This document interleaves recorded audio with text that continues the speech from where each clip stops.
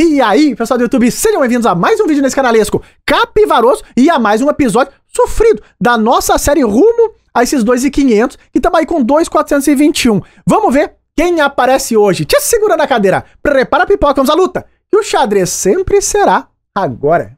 E a 2,399. Não tem problema. Um jogador fianqueteiro. Pá, fianquetou por ali.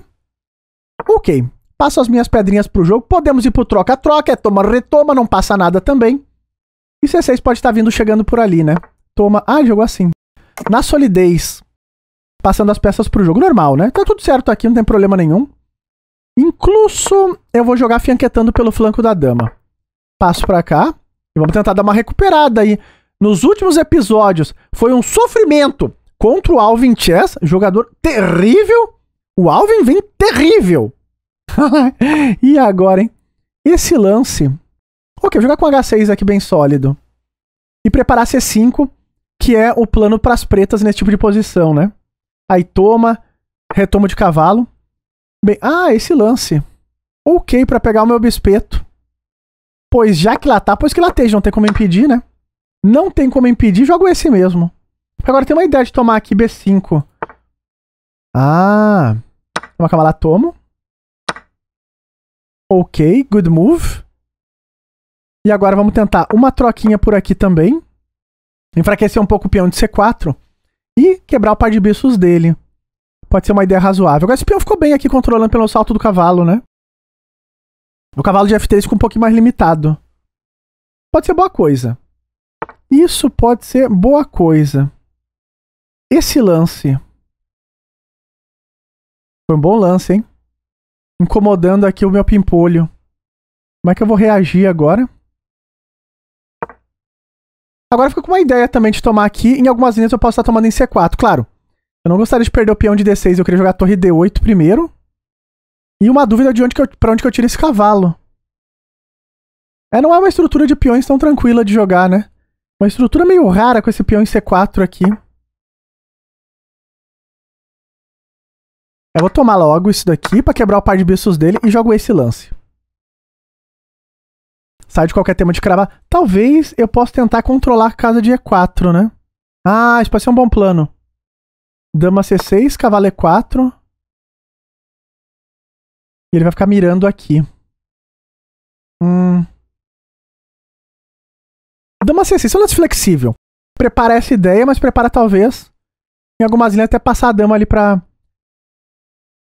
para 4, mas eu não posso deixar cair o peão de D6, né? Esse e esse. Ok, ele meio que defendeu a ideia. E agora...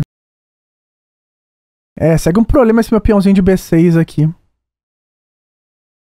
Não é um problema de fácil solução.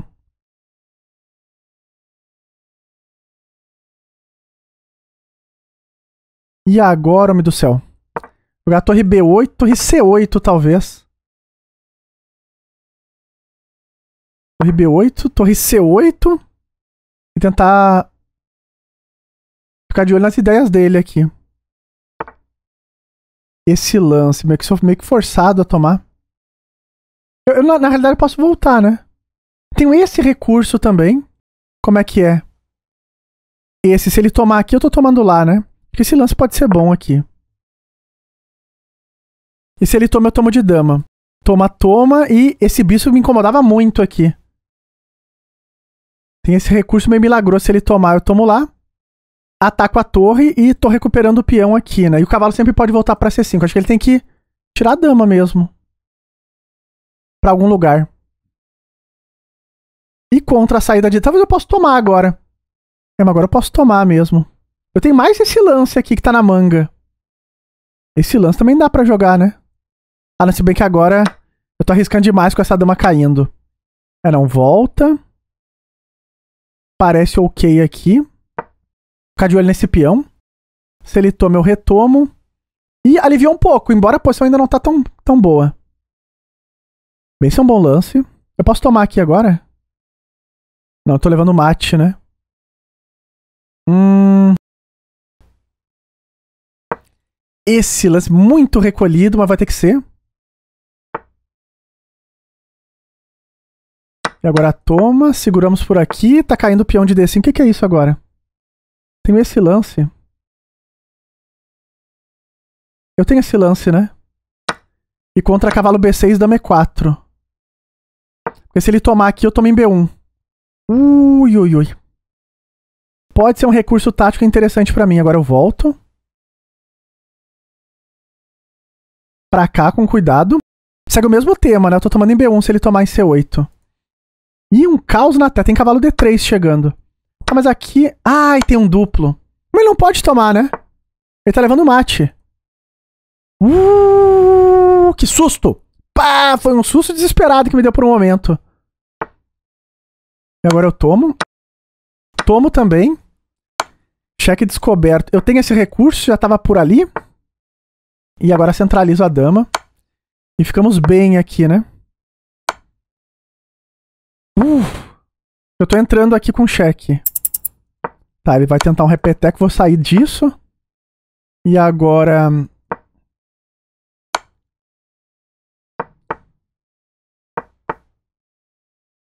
O cara acelerou. Calma lá. Calma lá que o cara acelerou. E eu não tô conseguindo acelerar direito. Calma lá que o cara acelerou. Uh.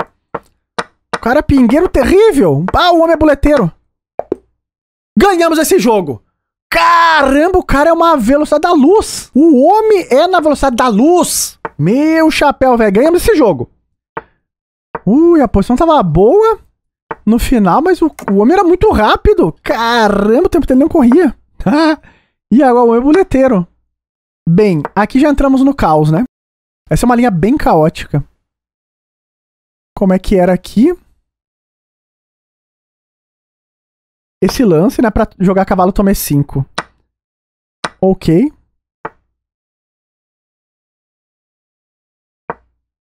Três, seis. Contra três, seis, Tô com peão a menos aqui. Ah, tô com peão a menos, né? Como é que era essa linha? Não era assim. Calma lá, tá certo isso. Vou ter que jogar H3 aqui e defender bispo G4. Porque agora as peças dele todas estão saindo, né? Agora esse... É, mas ele ainda tem uns problemas pela coluna B. Vai dar pra dar uma incomodada, né? O peão de D5 também. É, toma, toma. Depois tá chegando essa ideia. Eu vou tentar forçar aqui essa troca. E torre B1. E tenho algumas compensações aqui. O peão de D5 pode ser um alvo também, né? Jogo esse. E agora... Good move! Isso é um bom lance, né? Ele quer trazer o cavalo para C4. Ok. E essa ideia agora não é boa? Porque se ele toma, retoma, tá caindo em D5, né? Tem algum golpe aqui, toma, toma. Quando B6 eu tomo aqui.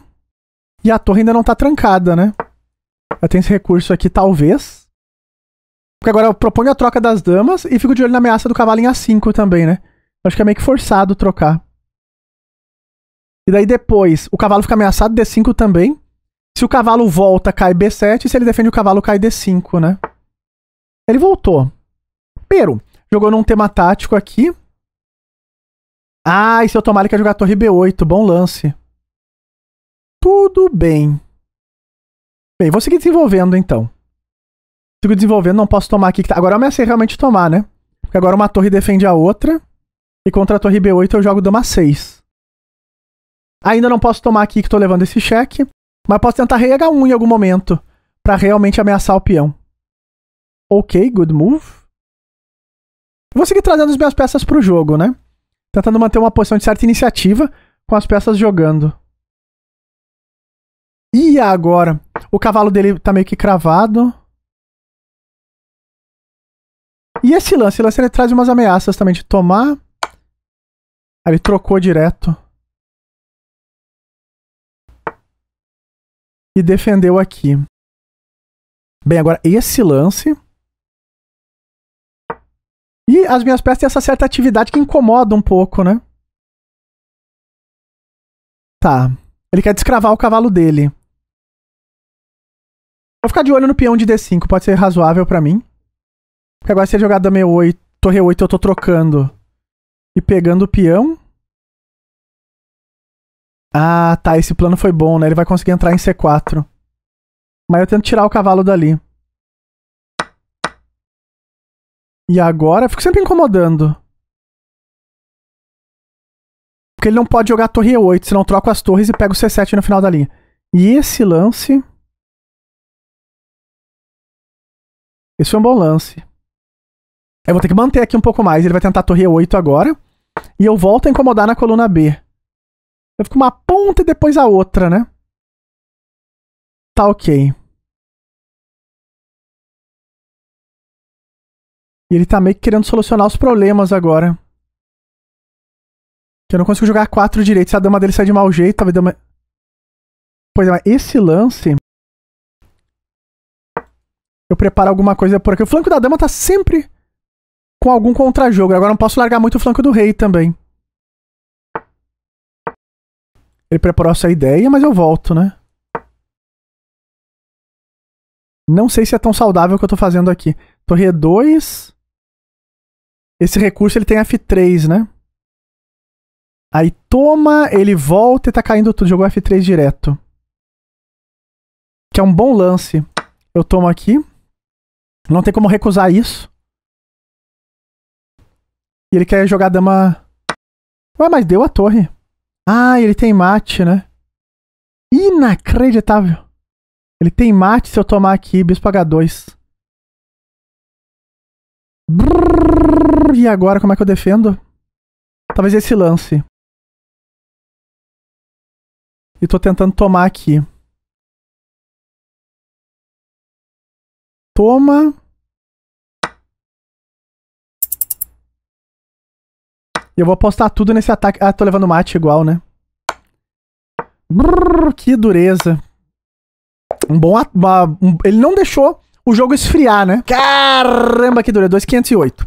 Uma vitória contra um jogador como esse pode ser muito bom, né? Eu daria 10 pontos aqui. 10 pontos agora. Estaremos necess... Estamos necessitados na série. Pra dar aquele recuperão. Bem, eu vou jogar esse lance aqui. E vou tomar e preparar a ideia do E5 rápido. E5 rápido, né? Ele vai manter tudo fechado, mas agora tem esse. E agora eu não posso deixar ele consolidar, eu tenho que jogar com E5. E já estamos na bagunça, não tem quase mate ali com bispo H2. Toma, toma lá. E quando ele volta, eu tô entrando, né? Esse lance aqui deve ser bom. Ele entrou nisso mesmo. Mas é que dama rei G3 tem que estar tá perdendo de algum jeito, talvez até até dama D6 eu acho que ganha. Porque quando rei G3, dama D6, se ele jogar com F4, já tá levando um duplo. Pois é, e esse agora também, né? Porque F4 é que daqui a minha dama tá ameaçada, mas se eu jogar esse aqui, ser bem desagradável para ele. Incluso esse lance. Que é curioso, né? Porque ele tá tomando aqui, ganhando uma casa pro rei dele. Vou jogar dama D6. E agora eu tomo aqui. Eu tomo aqui, né? Que ele não tem esse lance intermediário, porque eu tenho. Quer dizer, eu tenho dama G6 intermediário e pego a dama. Se ele tentar alguma coisa assim, né?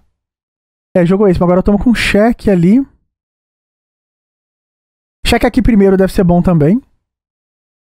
Melhora um, po um pouco a posição da minha dama. E agora eu tomo aqui. E consolido.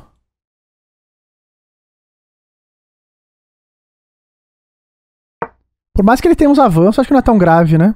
Porque eu proponho a troca e esfriar um pouco a posição agora parece bom para mim. Com qualidade a mais, vamos ver.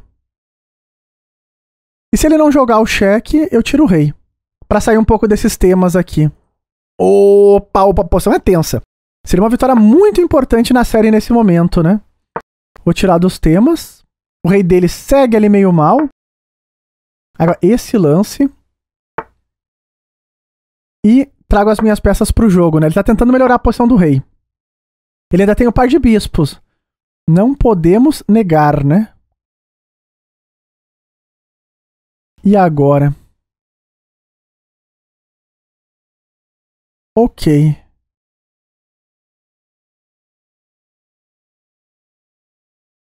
Ah, esse plano, né? Fico pressionando o peão de D5 dele. Parece razoável. Eu quero jogar C6 no momento, ah, tipo agora. Claro, ele vai tentar passar o peão, mas eu tô trocando por ali. Esse peão deveria cair em algum momento, né? A gente sabe que no Blitz não existe justiça. E se ele tomar aqui, eu tô trocando, depois troco de novo. Esfriando um pouco da posição que é a minha ideia, né?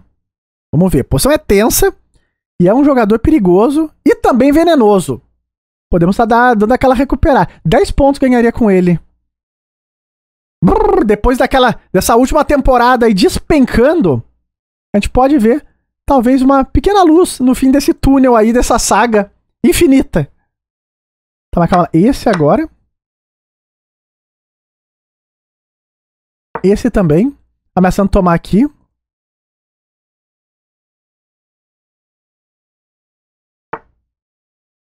E agora eu tomo, né? Tem algum golpe aqui? Agora esse.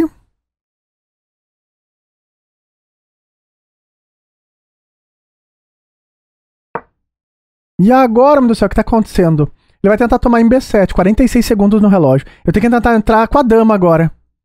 Os cavalos dele estão controlando bem a posição ali. Torre por torre, cavalo por cavalo. Eu nem tô com qualidade a mais aqui. Eu tô errando na conta. Na realidade tá com duas por uma, né? Eu tô perdendo aqui. Ah, falei que capivarada, meu guri. Eu tô perdendo esse negócio. Toma aqui. Não, mas agora ficou bom.